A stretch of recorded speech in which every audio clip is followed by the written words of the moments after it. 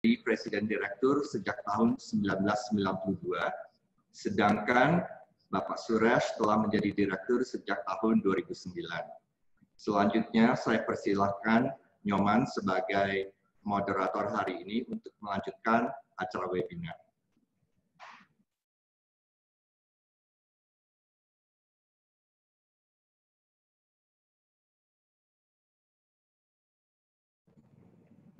Terima kasih Pak Heri. Uh, selamat siang semuanya yang sudah menyempatkan waktunya untuk tune in di acara webinar Samuel Sekuritas. Uh, saya perkenalkan, nama saya Nyuman Prabawa yang akan menjadi moderator acara sore hari ini.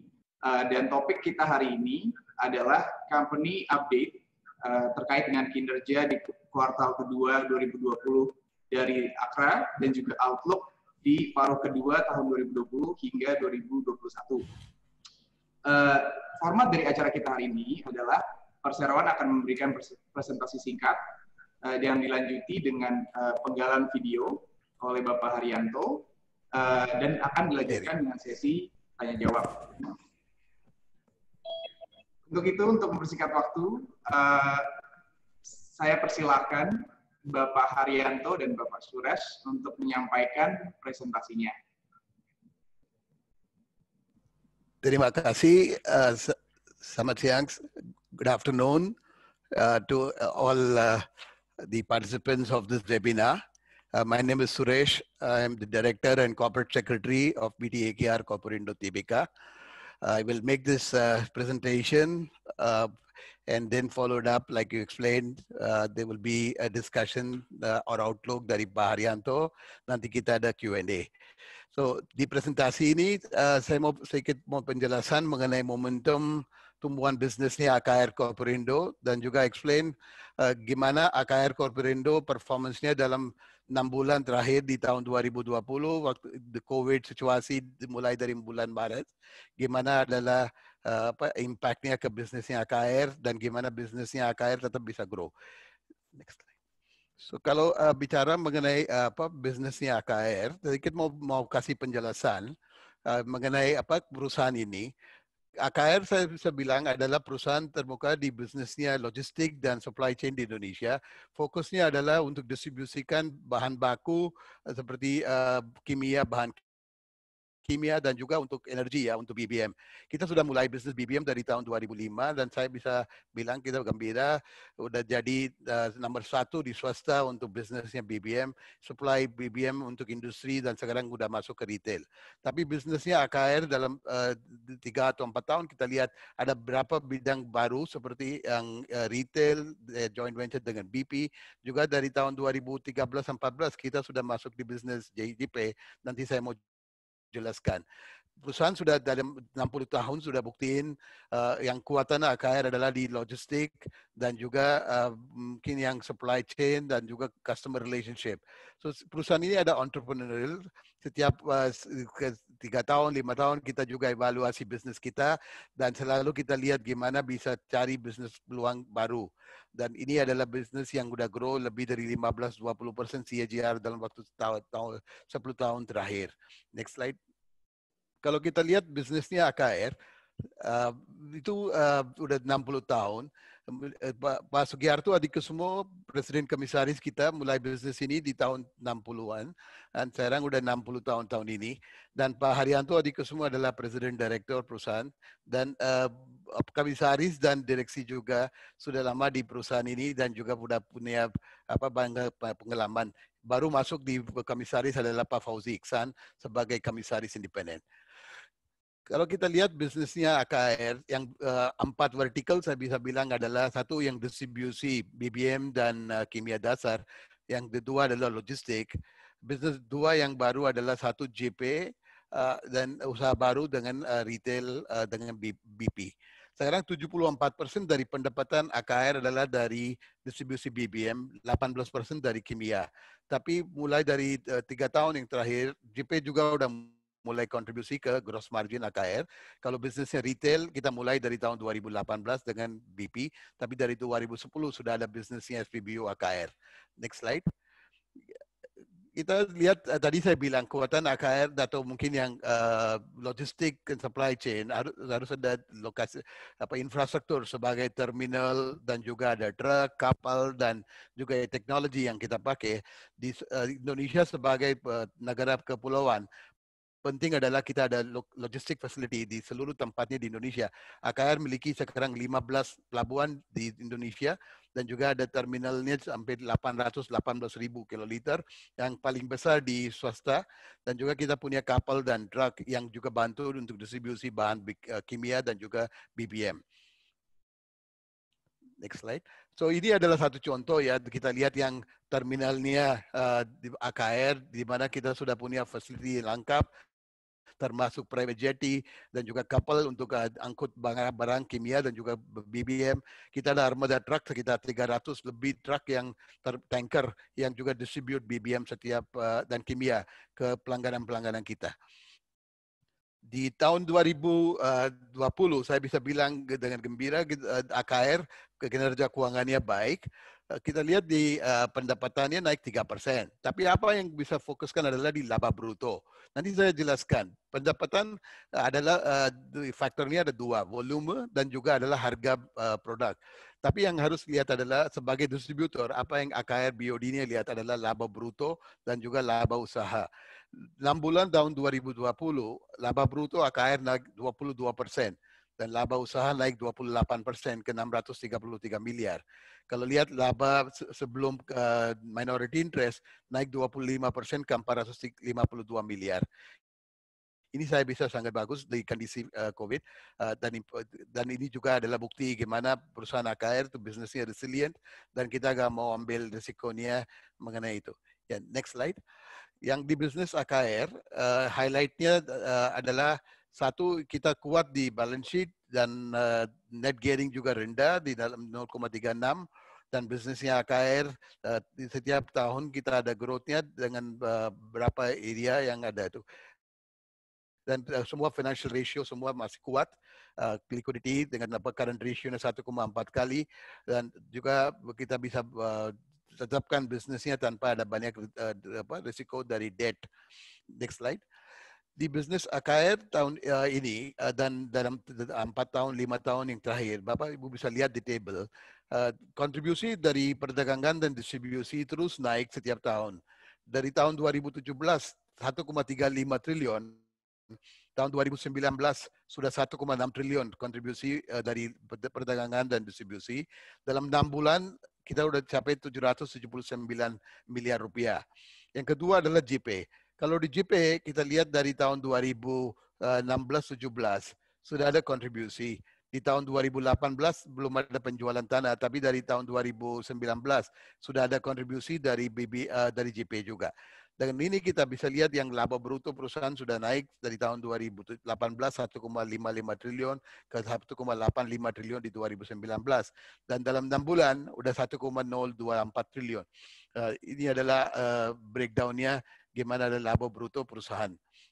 Next slide.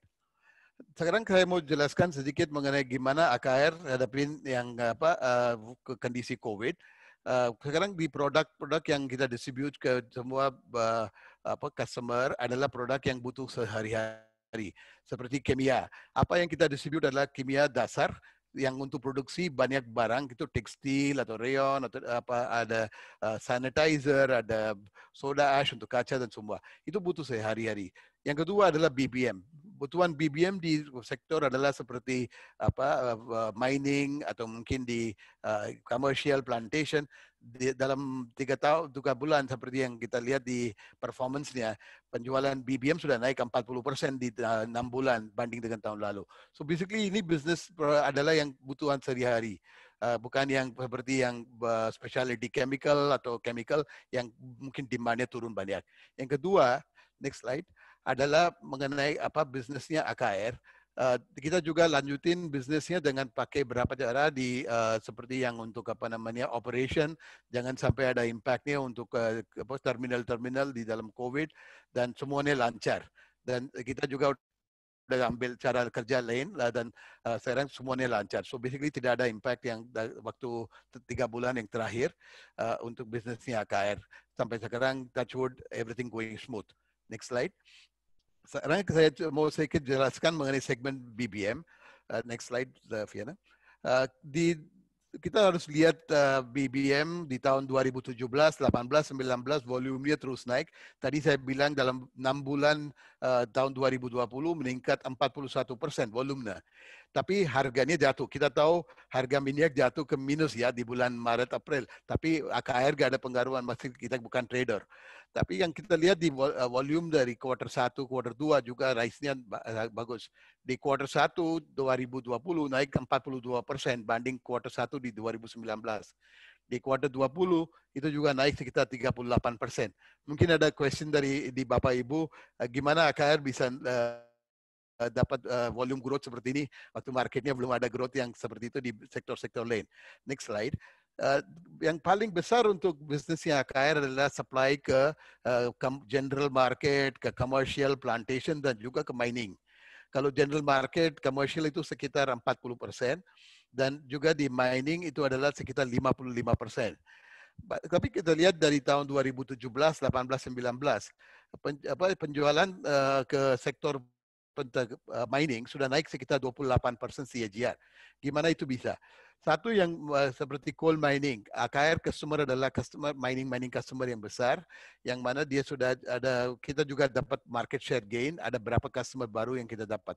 So itu lonjat, itu uh, volumenya ke mining industry naik sekitar 28 persen di ting. Ada berapa segmen yang kita kurangi uh, ke volumenya itu adalah seperti listrik atau mungkin yang segmen-segmen lainnya. Tapi kita lihat yang sektor uh, mining, plantation, coal itu penjualan AKR terus naik.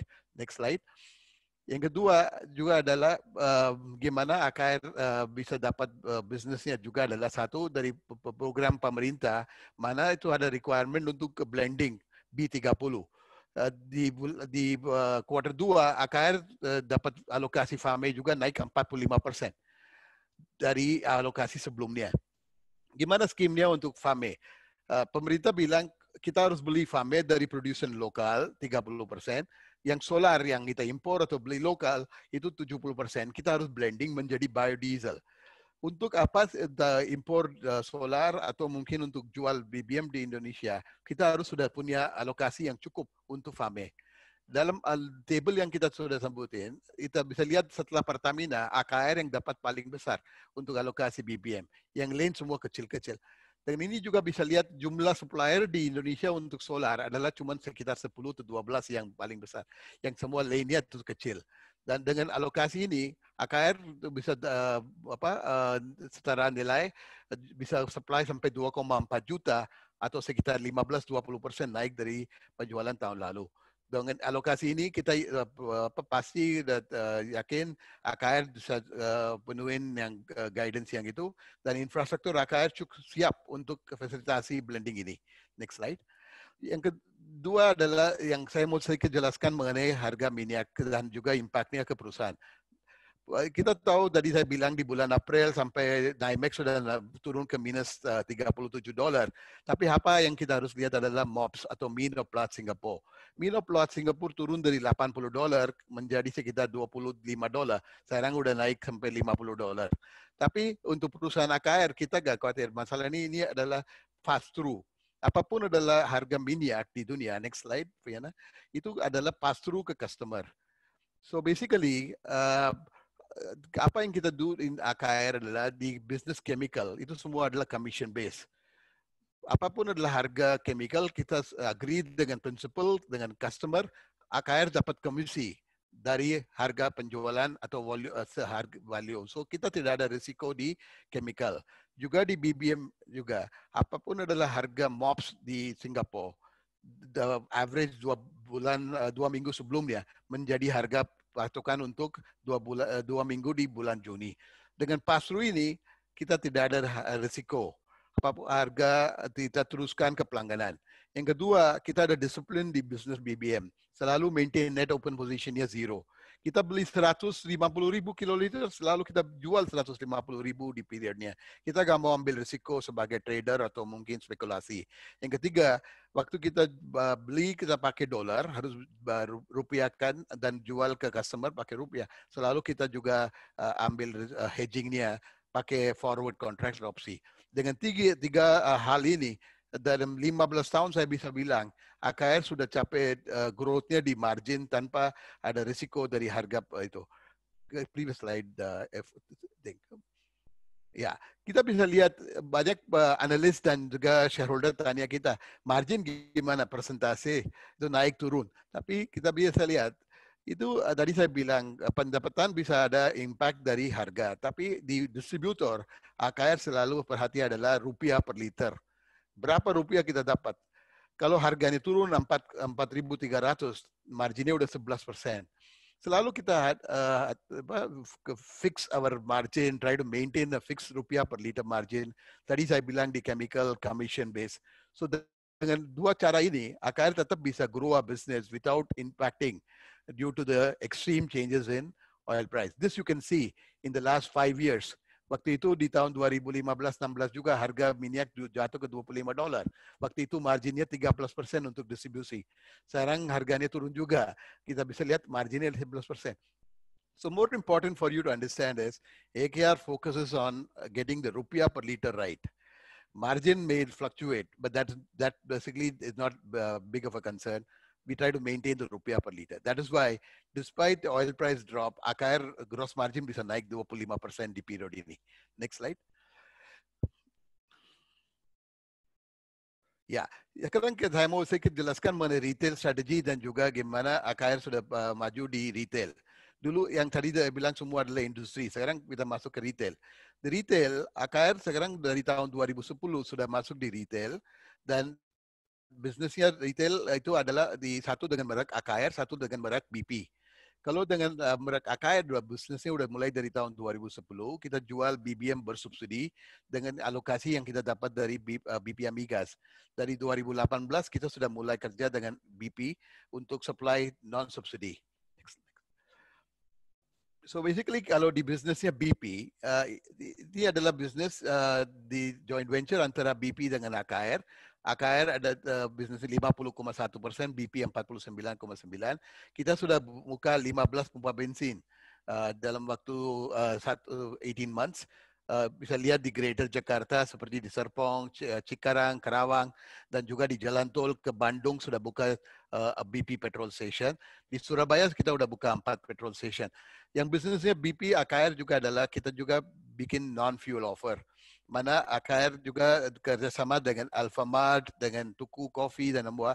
Bisa ini bisnisnya adalah uh, yang juga bisa contribute revenue. Kita ada rencana untuk buka 350 pompa bensin dalam waktu 10 tahun. Next slide. Bisnis BP AKR uh, ada sedikit impact dari COVID. Seperti bisa lihat di graf ini, dari bulan September setiap bulan penjualannya naik terus. Puncaknya di bulan Februari jatuh sampai 46 persen. Tapi good news is there's a good recovery. Per Juni sudah already recover sampai 82 persen dari volume Februari. Dan margin di bisnis ini juga masih bisa maintain dan juga bagus. So bisa saya bisa bilang strategi AKR adalah selain industri sekarang kita juga mau masuk di retail. Bisnis retail ada banyak prospek. Indonesia uh, cuma ada 8.000 uh, pompa bensin negara yang besar seperti itu pasti ada uh, demandnya untuk banyak pompa bensin lagi. Dengan BP, dengan AKR, kita kuat dan mau grow business ini uh, ke depan. Next slide. So basically bisa lihat ini adalah bisnisnya retail. Uh, tahun ini kita sudah dapat alokasi 234 ribu kiloliter biodiesel. Kita juga supply ke nelayan dan juga untuk bermotor. 137 lokasi kita ada pompa bensin AKR. Next slide. Uh, dari tahun 2019 AKR dengan BP sudah masuk di bisnisnya Aftur juga. Uh, sekarang di operation di Indonesia Timur. Uh, Juni kita udah mulai lagi. Uh, itu adalah di IMIP. Kita ada rencana untuk uh, expand bisnis ini. Tapi ini long term. So dengan tiga cara ini, satu kita sudah ada di industri, sekarang masuk ke retail, uh, Aftur, AKR sekarang bisa kerja di semua aspeknya di BBM. Next slide. Uh, kalau bicara kimia, basically the basic chemical saya bilang ini adalah bisnisnya commission based, 75% dari itu adalah commission based. Kita adalah principal distributor untuk Asahi. Di volumenya bisa lihat uh, cuma turun 2% banding dengan 6 bulan yang I think tadi saya bilang ini ada produk yang pakai di banyak industri, tapi yang uh, kalau lihat yang pendapatan uh, turun 21%, mainly because harga kimia turun banyak. Ya, next slide. Kita lihat di uh, first quarter, tetap volumenya growth-nya adalah 8%. Tapi di uh, di quarter 2, satu dengan hari raya, yang kedua adalah COVID, uh, itu volumenya penjualan turun 12%. Tapi kita yakin dengan quarter 3 dan quarter 4, setelah ekonomi sudah mulai baik, pasti itu volumenya bisa naik juga. Next slide. Uh, segmen logistik dan uh, apa manufacturing juga masih stabil uh, dan margin di bisnis ini juga masih oke. Okay. Sekarang saya mau jelaskan sedikit mengenai GP sebelum saya hand over to Parianto. Segmen GP tadi saya itu proyeknya di Gresik sudah mulai dari tahun 2013. Itu adalah proyek yang terintegrasi antara pelabuhan, kawasan industri, dan juga utilitas. Itu adalah next slide.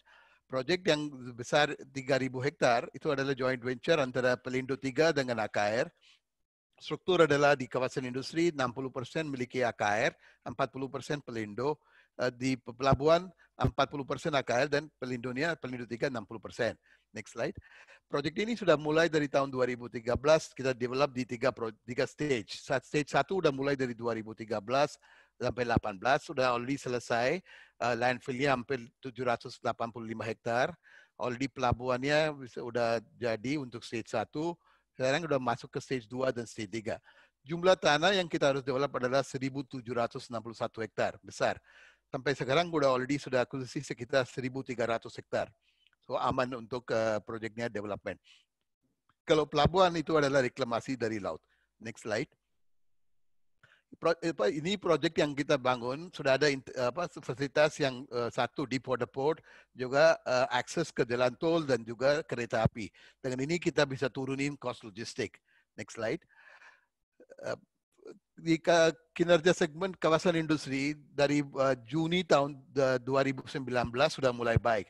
Bisa lihat grafnya di tahun 2015 kita jual tanahnya 128 hektar, 2 miliar di 2016 271 miliar. Di tahun 2017 582 miliar. Di tahun 2018 waktu itu ada pemilu dan juga politik, ya tahun politik ya penjualan tanah turun. Uh, tapi mulai dari Juli sampai sekarang udah jual 477 miliar. So saya bisa bilang sudah ada comeback lah. Yang kedua, yang uh, kita sudah tanda tangan dengan Freeport, kalau lihat di tahun 2020, uh, 240 miliar, terdiri dari penjualan tanah 166 miliar, uh, sewa dari Freeport 58 miliar, dan penghasilan utilitas. So basically, uh, saya bisa bilang ini sekarang uh, the land sales and interest in land sales has already started uh, uh, take. Okay? uh, dengan ini saya mungkin stop dulu. Uh, sekarang kita mau jalanin satu video Uh, dan nanti setelah itu Pak Haryanto bisa explain mengenai strategi ke depan. Bu Fiana can start the video. Pak Haryanto, thank you for spending your time to discuss AKR Corporando second quarter 2020 performance. The company has delivered very strong performance despite a very challenging environment. What were the key drivers behind this performance? Yes, our team has worked very hard to maintain our earning growth momentum in these challenging times. Three key drivers of our earning are number one, our trading and distribution business had two consecutive quarter of volume growth year on year. As you remember, we have been delivering high growth in fourth quarter 2019. We have been focusing on market segment where we have comparative advantages, particularly in comparison to the smaller players. Our trading and distribution are serving basic industry that have more resilient in these challenging times. Secondly, our regular contribution from Java Integrated Industrial and Port Estate has been good. This is coming from both land sales as well as lease income. And thirdly, our strict control over our operating expenses and our improved efficiency are contributing to our profit growth. I would like to add here that our performance should dispel concern about the impact of oil prices. We have stated in many forums and occasions that our business model are based on a pass-through formula of oil prices and foreign exchange rate. This way, we do not take any stock position on the volatility of the oil prices. Can you please highlight which business segments were relatively more affected by social distancing and the negative GDP growth? Both chemicals and retail distribution were impacted by the shutdown of factories and social distancing. However, both have reported strong pickup in the month of June, and we expect this recovery to continue into quarter 3 2020. Our joint venture with BP is now moving into the next phase of opening dealers on retail side. Inevitably, I believe negotiation with interested parties has been delayed because of this COVID-19. But we expect this to resume again in quarter 3 2020. A social distancing is being eased gradually. We are in the process of finalizing agreement with PT Freeport Indonesia for utilities and other services. And my third and final question is what is your outlook for second half 2020 and specifically which key risk factors that the management is monitoring more closely? We will do our best to maintain the current volume growth momentum. Recent increase in farming quota by about 45% will support this effort. We are monitoring the news about potential cut in Indonesia of coal production and also the development of COVID-19 infection rate. But since we have been able to achieve a significant milestone in the first half of this year, we hope to be able to achieve our year-end target also. Chemical prices are expected to stabilize with higher oil prices. Thus, this is also supporting our gross profit growth. For GP, we are still expecting another land sales of another 10 to 15 hectare in quarter 3 2020. We remain vigilant on credit quality of our customers. We will not compromise on this risk for the volume growth. Operating expenses are being monitored and controlled tightly. We have no hiring at this moment unless it is for critical position and we have limit our travel as well as our marketing expenses.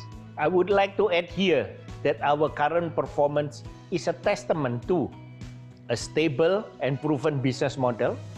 Also, our product portfolio are comprising of essential products that are needed even in these challenging times. Also, our wide geographical presence in Indonesia, supported by the strong logistic infrastructure give us a competitive advantage. And lastly, our hard work and experience of our management and employees to produce a strong performance is proven. This gives me confidence that we will maintain our business target and return on equity both in near term as well as in medium term. I may want to add one more good news that our company has received a certification in ISO for the trading and distribution business of petroleum. This again shows our strong and our good teamwork of our management and our employee. Thank you for giving time and giving us a, such a broad overview on A-Care performance in first half 2020 and best of luck for second half 2020. Thank you very much.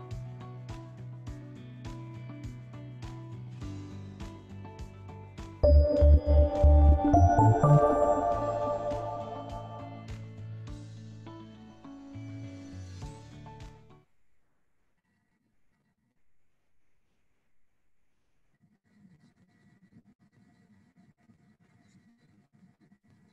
now I hand it over back to the uh, to panelists that the uh, Samuel Securitas the Q&A.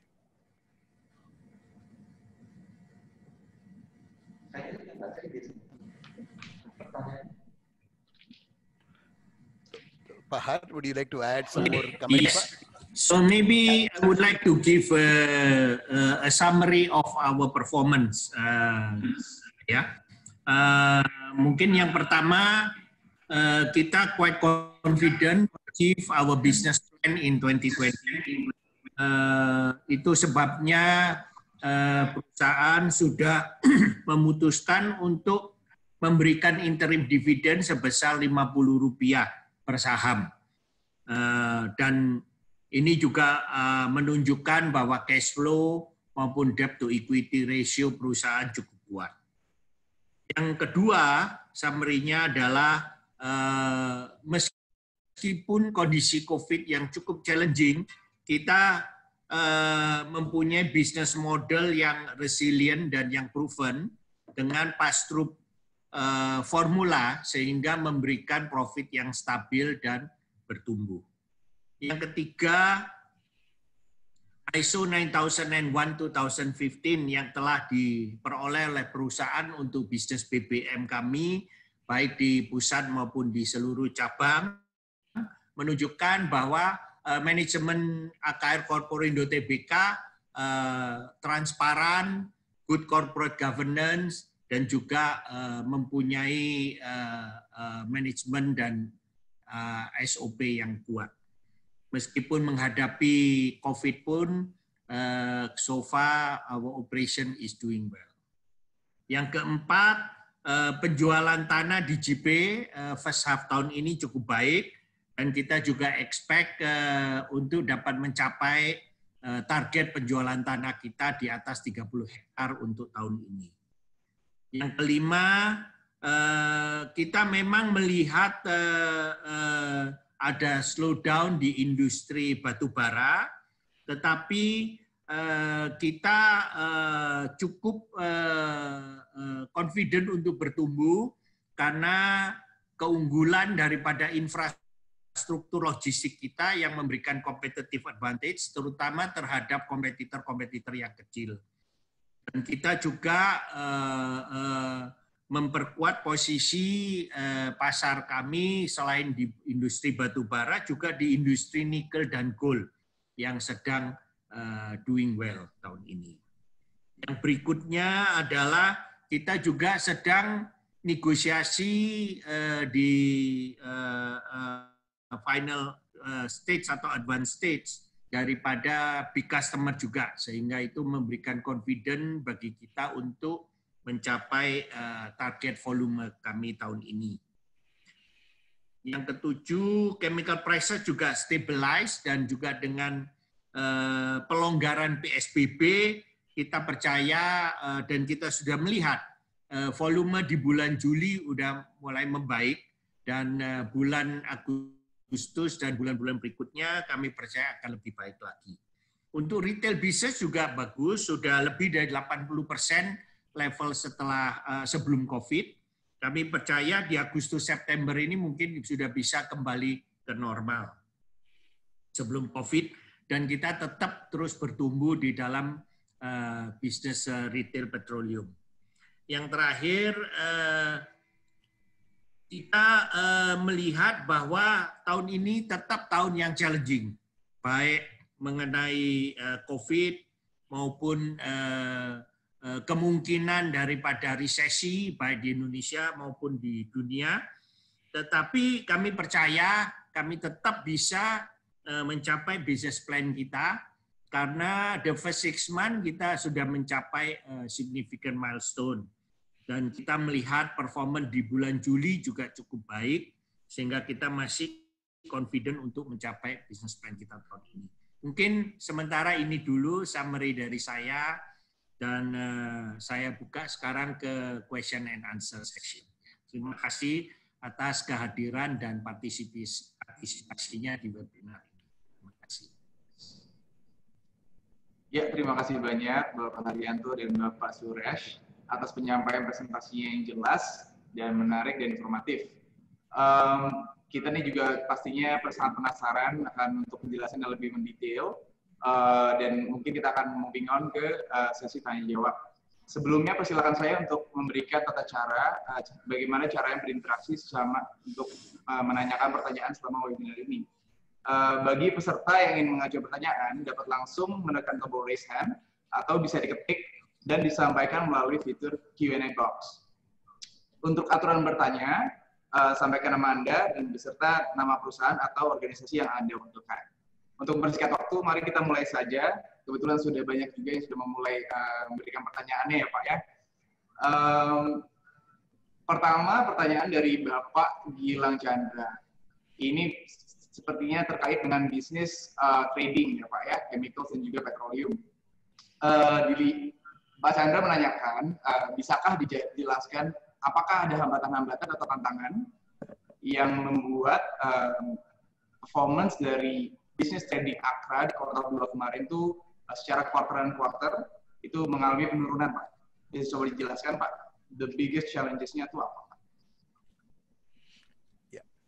Kalau bicara mengenai petroleum, ya kalau bicara petroleum tadi kita jelaskan bisnisnya petroleum uh, untuk uh, sorry enam bulan tahun 2000 20 banding dengan uh, tahun 6 bulan tahun 2019, volumenya sudah naik lebih dari 40 persen. 40 persen naik di tahun 2020 banding volume di tahun 2019. So bisa kita lihat kita bisa dapat volume yang cukup baik di tahun uh, 2020 dan seperti ini uh, adalah satu indikasi di mana kita bisa grow dalam uh, 6 bulan ke depan yang margin juga tadi saya bilang stabil. Yang penting adalah volume growth dan juga margin. Yang kedua adalah yang di chemical. Kalau di bisnis chemical, ya tadi saya lihat, lihat itu harga turun drastis, tapi sekarang udah mulai stabil. Cuman yang volumenya turun cuma 2% banding dengan 6 bulan di tahun 2019. So dengan ekonomi sudah uh, sekarang uh, mudah-mudahan sudah mulai lebih baik uh, dan banyak pabrik-pabrik sudah mulai bisa buka uh, ini impactnya dari PSBB bisa lebih kecil ya uh, di quarter uh, semester 2 tahun 2020. So basically kalau lihat COVID kita sudah ambil berapa langkah untuk uh, safe operation. Uh, tidak ada operation yang hambatin dari uh, apa impactnya dari COVID. Uh, good thing was ya di first half of the year impactnya di Kalimantan, Sumatera dan daerah-daerah mining banyak pengaruh dan juga AKR tetap bisa jalanin operation. So basically kita lihat di semester uh, dua, kalau Pak Arianto tadi bilang kita masih negotiation untuk uh, customer besar di second half. So kalau bisa dapat itu juga, kita yakin tahun ini volume uh, tahun 2020 bisa capai sesuai dengan uh, indikasi kita uh, sebelumnya. Outlooknya bisa 15 sampai 20 persen growth banding dengan volume tahun 2019 untuk bisnisnya BBM. Kalau chemical ya mungkin bisa uh, flat atau bisa naik 3 sampai 4 persen banding dengan tahun 2019. Tapi penting margin kita tetap uh, maintain di rupiah per margin di petroleum dan juga chemical marginnya sebagai percentage will be very stable. So we don't see a big impact in terms of trading and distribution as far as outlook and also guidance.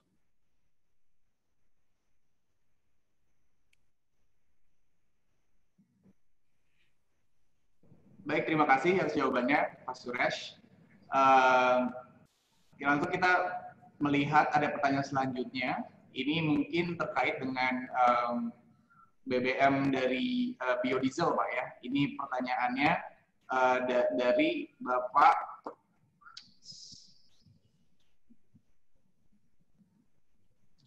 dari Ibu uh, Laura. Nah, ini sedikit kita lihat uh, growth dari karena pemerintah juga sedang menggalakkan keseriusan di uh, bisnis biodiesel Pak ya. Uh, bagaimana pandangan dari Akra Pak untuk uh, memanfaatkan momentum ini? Apakah ke depan akan uh, difokuskan untuk menambah volume di biodiesel? Bagaimana pandangan Bapak? Ya tadi di slide yang kita sebutin alokasi uh, FAME untuk AKR sudah naik 45 persen di kuartal 2 banding dengan apa yang sebelumnya. Dengan alokasi ini, AKR bisa uh, apa supply nilai setara uh, biodiesel seperti yang uh, farm ini 30%, solarnya 70%. Kita blending pakai bio B30. Dengan sebelumnya kita cuma bisa jual 1,66 juta kiloliter solar dengan tambahan kota ini uh, bisa jual hampir 2,4 juta. Itu sesuai dengan tadi saya bilang outlook atau ekspektasi kita untuk tahun ini. Uh, dengan alokasi yang kita dapat di kuartal 2, FAME ini udah naikin dari 698 ribu menjadi 725 ribu. Uh, kita bisa supply solar sampai 2,4 juta kiloliter di tahun 2020. Untuk ini kita juga udah siapin semua infrastruktur. Juga kita barusan mau selesaikan apa proyeknya di Jakarta Tank Terminal, mana sudah ada tangkinya 15.000 untuk biofuel. So kita sudah siap dan kita mungkin dengan alokasi yang dapat bisa penuhin uh, ekspektasi atau volume yang kita targetin tahun ini.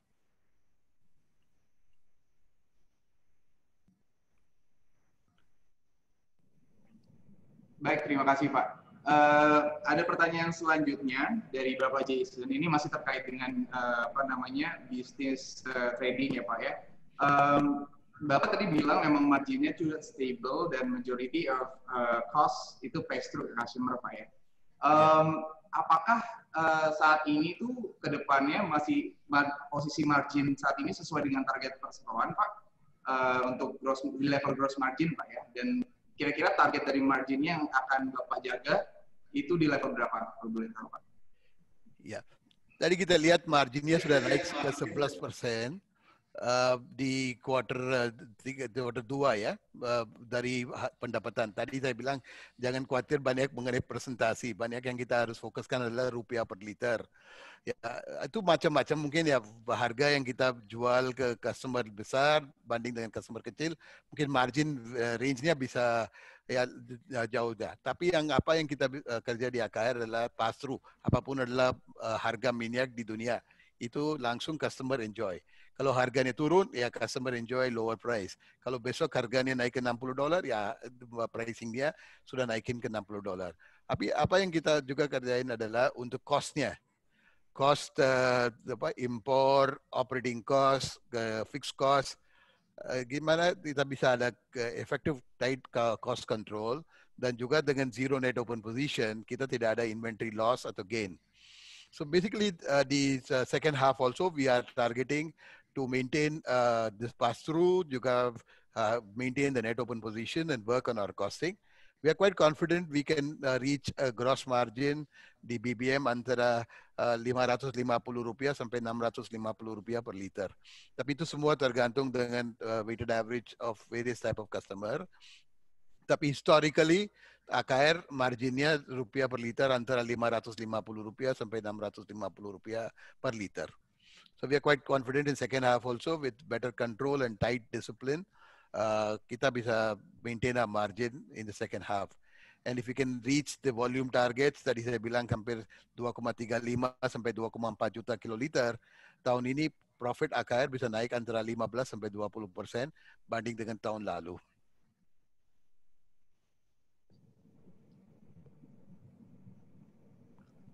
Pak, would you like to add something? Enggak, cukup. Terima kasih Pak penjelasannya. Uh, ini inline dengan yang Bapak sampaikan tadi, kalau memang bisnis model AKR itu sangat resilient Pak ya, ya. Uh, untuk menghadapi uh, masa pandemi ini. Oke, lalu kita moving on ke next question Pak ya dari Bapak Aldo. Uh, ini terkait dengan uh, masih di bisnis petroleum Pak ya. Um, Pak Aldo pengen tahu nih Pak, bagaimana komposisi market segmentasi industri versus retail yang ada di bisnis petroleum trading. Dan juga uh, Pak Aldo juga ingin menanyakan uh, terkait dengan pembangunan SPBU. Apakah sampai saat ini itu sudah sesuai target? Karena ada pandemi ini pastinya akan ada hambatan atau bagaimana Pak? Apakah di tahun second half masih akan terus uh, sesuai dengan apa yang diharapkan? Ya. Kalau bisnisnya retail sekarang kontribusi ke jumlah penjualan BBM cuma sekitar 5 persen, 5 sampai 7 persen itu juga adalah uh, apa bisnisnya banyak itu adalah subsidi tapi sekarang dengan masuk ke bisnis non subsidi dengan BP tadi kita lihat uh, chartnya juga penjualannya udah mulai naik ekspektasi kita adalah setiap tahun mau buka antara 25 sampai 30 pompa bensin di mereknya BP. Kalau uh, mereknya AKR itu semua tergantung dengan alokasi BBM subsidi ya. Sekarang kita sudah ada 137 lokasi uh, bisnisnya AKR petrol station. Itu mungkin growth-nya tergantung dengan alokasi. Tapi kalau bisnisnya BP, bisa lihat di September kita mungkin ada 10, udah hampir 15 di Maret tahun ini eh, kita ada ekspektasi untuk uh, buka sekitar 20. Tapi dengan COVID, mungkin ada berapa negosiasi dengan uh, landowner uh, sedikit delayed. But good news is that we already started discussing on the dealer offer. Dan mudah-mudahan uh, kita bisa buka berapa pompa bensin dengan dealer di Jakarta dan Surabaya.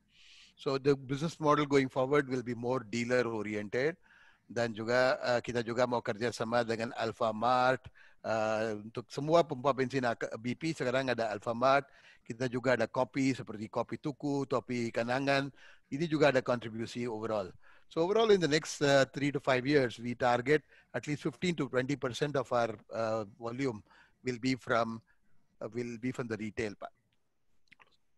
So basically tahun ini uh, uh, we may not be able to reach our 20 to 30, 30 station, but surely we'll catch up as we go to the next couple of years.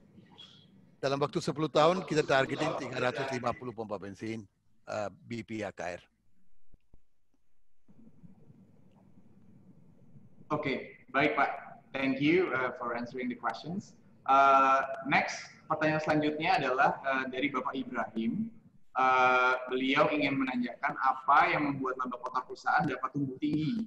Uh, apakah efisiensi atau tingginya operating leverage perusahaan?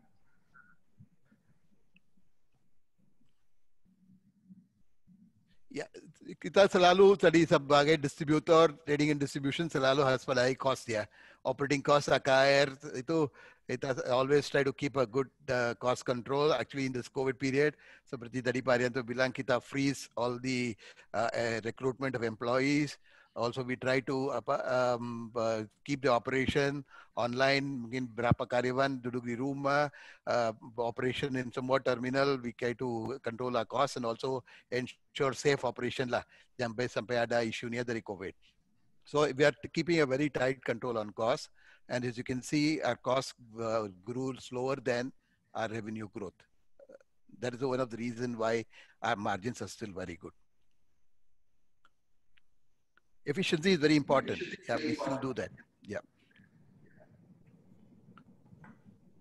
Baik, terima kasih Pak.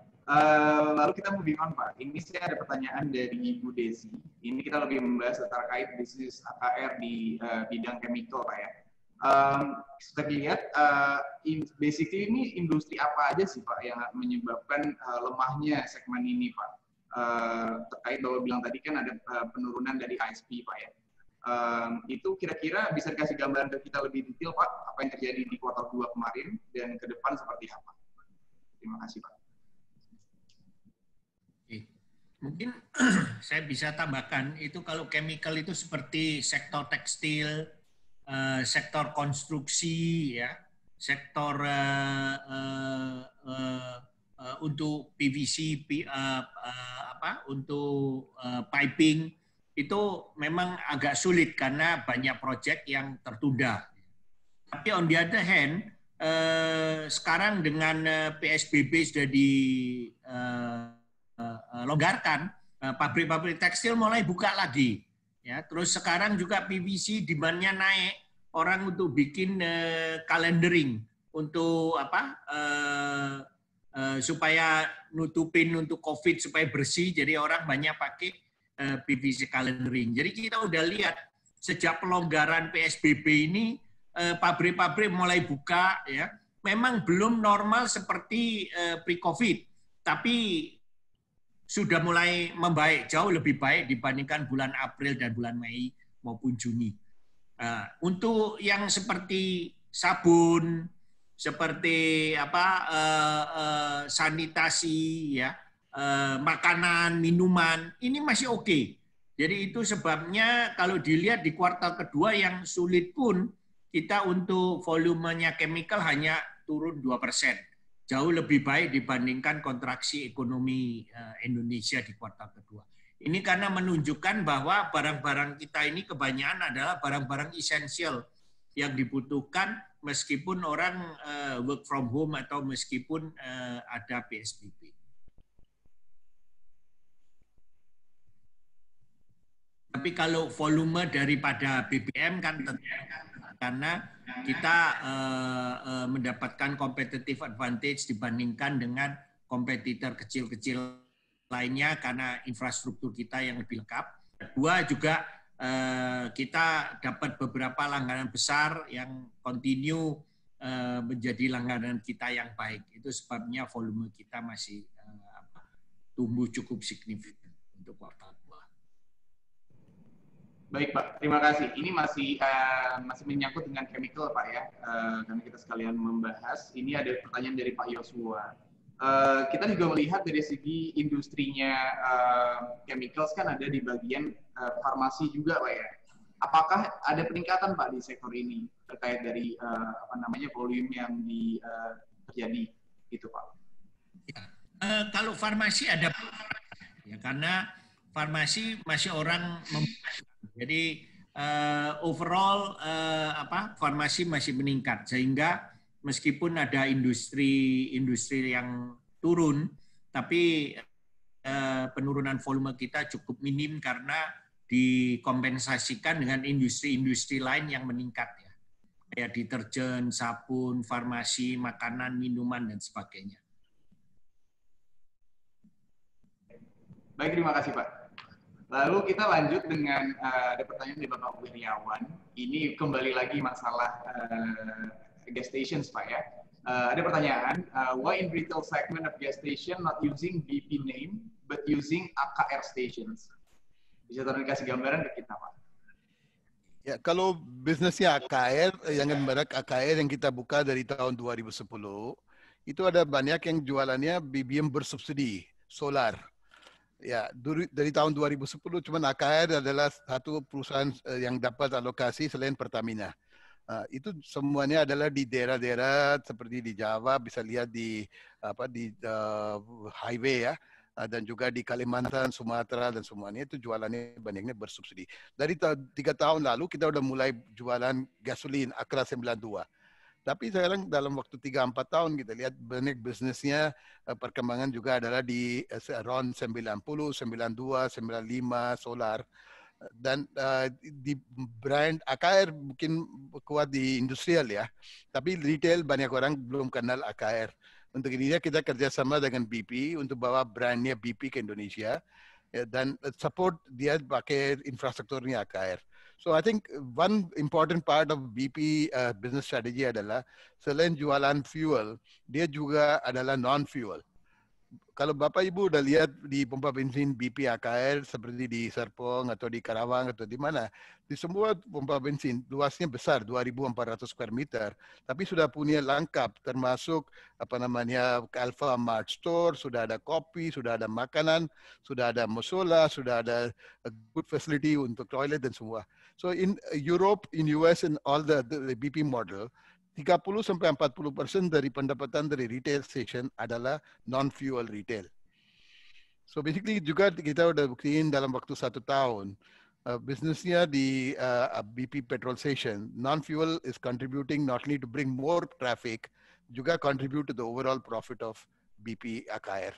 So this is one difference antara pompa bensin lain ya sebagai apa BUMN atau even Shell atau perusahaan lain kita lihat itu non fuel was not a big part of their uh, strategy. Kalau di BP AKR ya kita fokus di fuel quality fuel pakai brandnya BP juga kita kerjasama dengan local partner untuk bawa retail ke pompa bensin uh, BP AKR. That's why basically we use BP for non uh, subsidy dan juga untuk gasoline dan higher end fuel. Kalau solar dan juga untuk RON 92 tetap pakai uh, brandnya AKR. Tapi brand AKR sudah dari tahun 2010. Kita ada 137 uh, lokasi SPBU dan juga SPBN untuk yang lain juga.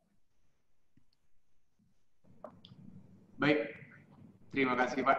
Uh, kita langsung next saja ya. Ini terkait pertanyaan dari Bapak Aryadi. Uh, beliau ingin bertanya uh, terkait dengan Euro 4 uh, dengan terkait dengan game gas emisi, apakah ini akan ada pengaruhnya Pak ke kualitas BBM produk AKR Pak?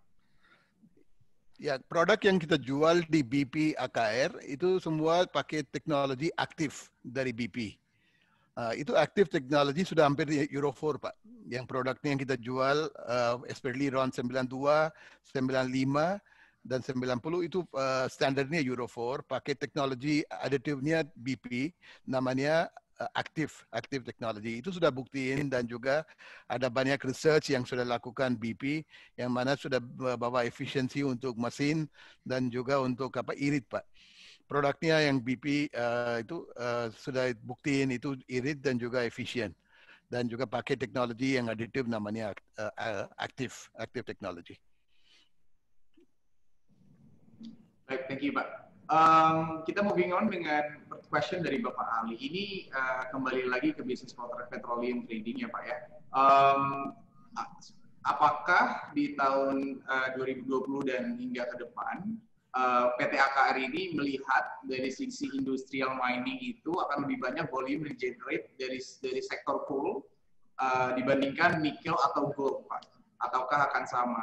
Tadi Bapak sempat touch juga kan kalau memang uh, mineral atau nikel dan gold akan ada pertumbuhan yang lumayan baik uh, ke depannya. Bisa tolong jelaskan kembali, Pak?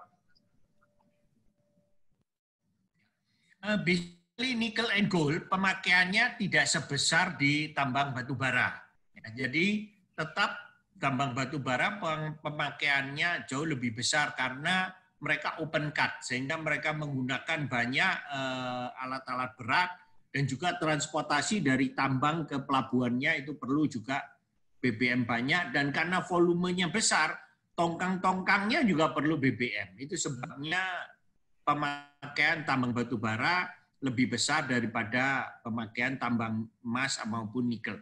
Tetapi dengan sekarang eh, demand daripada elektrikal, daripada apa electrical eh, apa eh, uh, uh, uh, vehicle di sini, kan sekarang ini nikel ini is doing very well, sehingga uh, uh, banyak tambang-tambang uh, nikel pun juga ekspansi, ya, dan mereka convert uh, apa nikelnya itu ke baja, ke apa stainless steel, ke, ke baterai dan sebagainya. Jadi ini yang membuat demand ke depan untuk nikel dan emas akan meningkat terus. Memang lebih kecil dari uh, coal uh, industry atau coal mining, tapi uh, volumenya cukup bagus sehingga kita melihat ini juga suatu potential growth area untuk kita. pastinya nanti semoga ke depan akan volume akan terus meningkat Pak ya seiring dengan perbaikan ekonomi ya Pak ya. Um, lalu kita next uh, ada pertanyaan terkait man manufacturing dari Ibu Selfie. Uh, Ibu Selfie melihat di paruh pertama tahun ini marginnya itu uh, meningkat lumayan baik. Apakah ini akan terus stabil Pak? Atau Bapak bisa dijelaskan kenapa ada peningkatan di sektor ini Pak? Ya, sekarang AKR mungkin manufacturing masih kecil ya, banding dengan mungkin 5-6 tahun yang lalu. Karena kita sudah jual pabrik-pabrik um, sorbitol di Indonesia dan di China. Cuma ada satu pabrik uh, manufacturing di Surabaya, eh, namanya Aruki, Arjuna Utama Kimia. Itu kimik, uh, produknya adalah untuk plywood dan juga untuk kayu ya, lem untuk kayu. So produk ini uh, kita uh, manufacture di Surabaya uh, margin ini uh, masih bagus, maksudnya ini uh, bahan baku, harga bahan baku udah mulai turun ya, yang metanol dan barang-barang itu. So dengan costnya udah turun, marginnya bisa lebih baik di enam bulan tahun 2020. Uh, tapi itu masih kontribusinya kecil, uh, di mana ada satu pabrik sekarang di AKR, tapi bahan bakunya turun, harga metanol turun.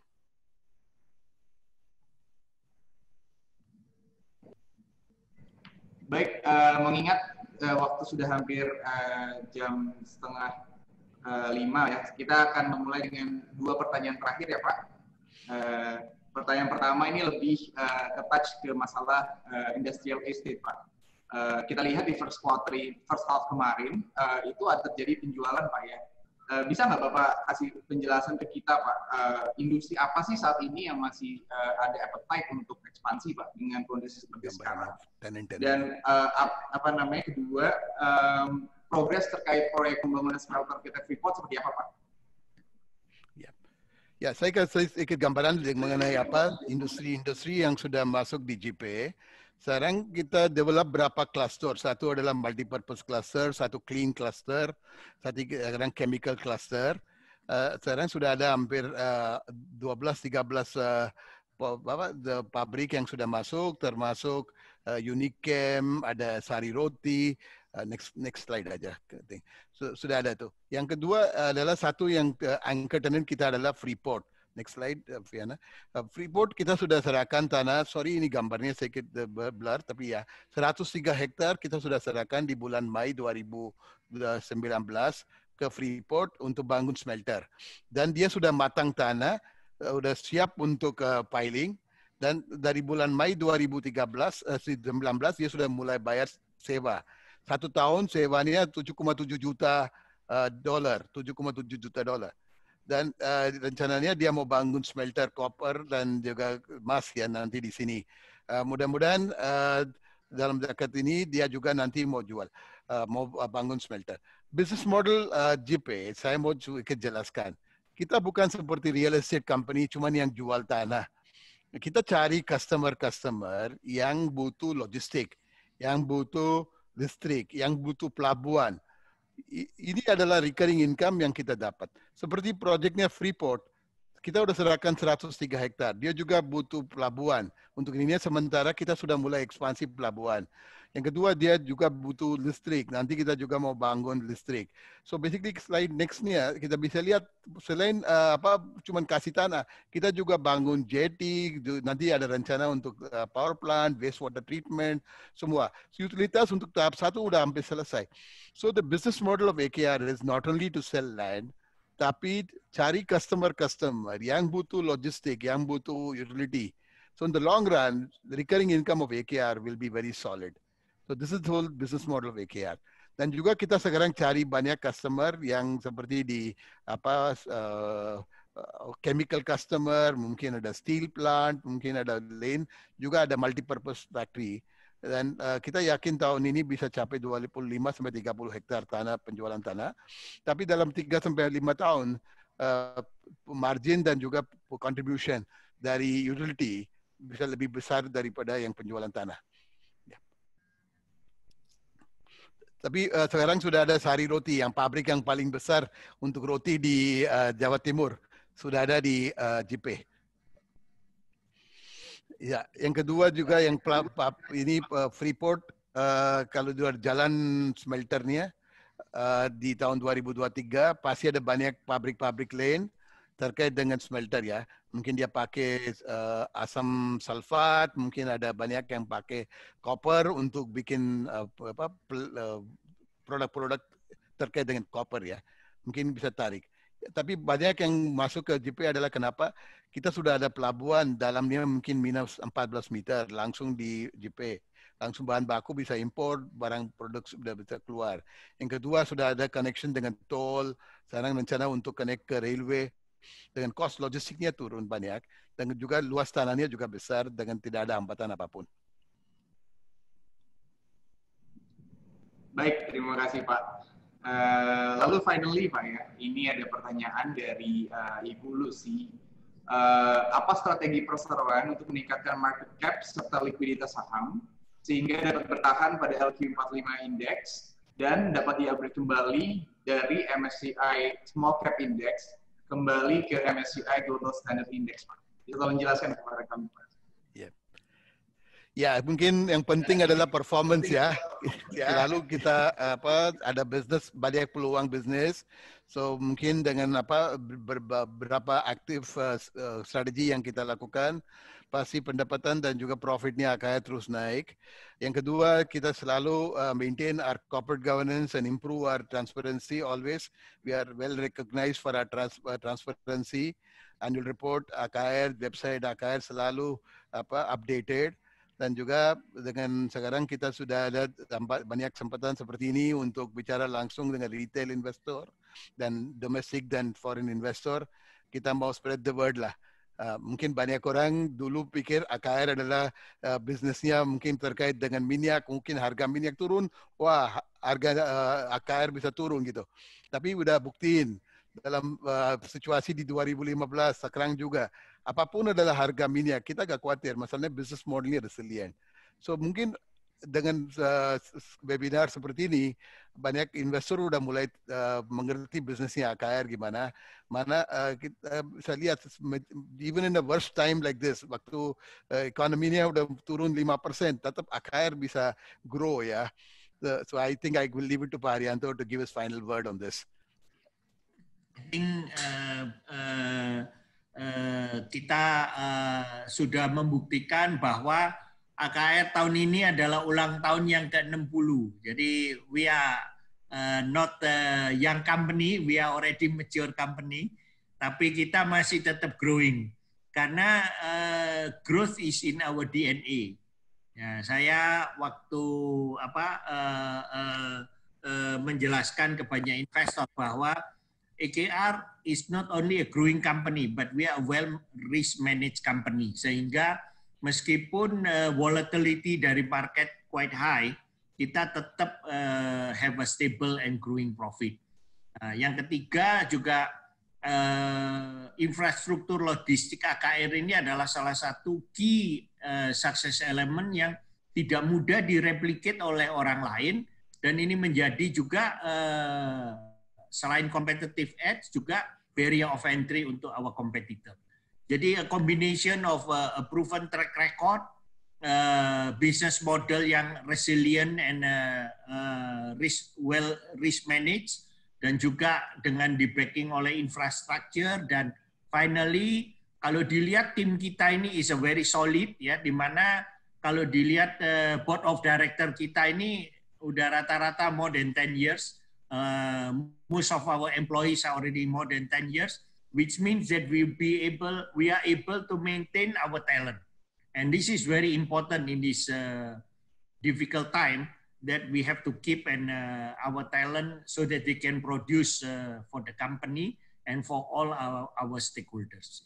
Saya rasa uh, uh, ini yang bisa saya sampaikan dan uh, saya harapkan uh, apa Eh, tahun ini meskipun sulit kita masih bisa mencapai bahkan kita harapkan ini juga menjadi tahun breakthrough untuk perusahaan kita di mana meskipun challenging kita masih bisa grow cukup signifikan. Ya, dua hal saya juga mau highlight Pak. Ini adalah satu mengenai dividen. AKR sebagai perusahaan uh, dengan cash flow-nya sangat bagus dan juga tadi saya bilang net gearing-nya rendah. Selalu kita bagikan EBITDA dan profit kita ke pemegang saham. Uh, kita lihat di ta lima tahun yang terakhir AKR sudah apa uh, declare dividend uh, payout ratio-nya 45 sampai 60 persen. Even tahun 2020 sekarang sudah bagi dividen 50 rupiah interim dividend. Yang kedua juga mengenai apa uh, maintaining our MSCI dan juga investor institutional kita juga fokus di ESG mana sustainable growth is very much part of our thing like Parianto mentioned 60 years kita selalu grow in an uh, environment where we always look for new opportunity tapi sustain our growth. Dan juga praktisnya untuk safety, health, environment, community, dan juga governance. Itu yang penting untuk AKR. Sebagai majority shareholder Pak Sugiarto dan Pak Haryanto, beliau uh, these two people own 59.6 persen, tapi selalu push untuk transparency kita mau apa uh, protect minority interest and be transparent and fair lah.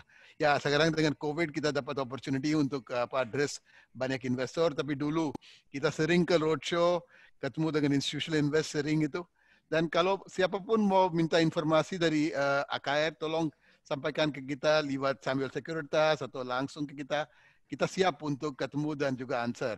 Main thing adalah uh, understanding our business. So this opportunity given to us helps us to communicate in more clear terms. Kenapa AKR bisa grow dan kenapa successful. Maybe I just leave uh, one slide for you. Uh, presentation uh, yang key takeaway untuk uh, itu. I just want to take two minutes of your time on page 57, Fiona. Kenapa itu uh, AKR bisa successful and why we see AKR dalam uh, 5 tahun, 10 tahun tetap bisa grow dan be successful adalah satu yang untuk kinerja tadi di presentation ini kita sudah bilang kinerja AKR stabil.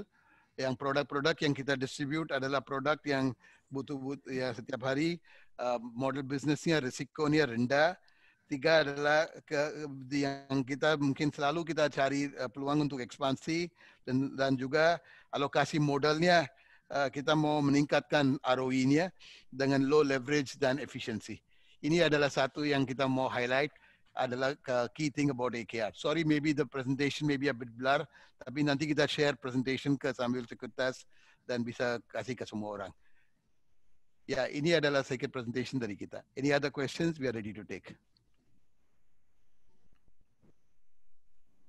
Oke okay, Pak, terima kasih banyak atas um, pesan-pesannya Pak ya. Dan uh, kita sudah masuk ke penghujung acara. Uh, kita juga sudah mendengarkan dan juga mendapatkan materi dan insight yang luar biasa. Uh, dan kita juga masih berharap bahwa ke depan AKR akan terus tumbuh ya Pak ya. Uh, dan ini kita juga berharap semoga seluruh partisipan yang mendengarkan bisa mendapatkan uh, insight dan confidence lebih atas AKR dan tentunya dapat membeli atau menambah kepemilikan dari AKR Pak ya. Um, untuk menutup uh, acara ini kita pertama-tama persilakan saya untuk berterima kasih yang sangat uh, sebesar-besarnya pada Bapak Haryanto dan Bapak Sures dan seluruh tim untuk meluangkan seluruh waktunya dan juga seluruh partisipan yang sudah tune in ke acara ini. Uh, untuk uh, sebagai penutup juga kami ingin memberikan informasi terkait acara webinar uh, kami selanjutnya yang akan terjadi di uh, hari Jumat tanggal 7 Agustus 2020 uh, terkait dengan weekly star chart yang akan dilakukan oleh senior chartist kami Pak Al-Fatih uh, CFT dan tentunya uh, semoga terus juga tidak kalah menariknya dari presentasi kita webinar acara hari ini. Untuk itu uh, terima kasih semuanya dan kak saya sebagai Nyon Prabawa pamit uh, dan sampai bertemu lagi di acara-acara webinar kami selanjutnya. Terima kasih dan have a great day. Terima kasih.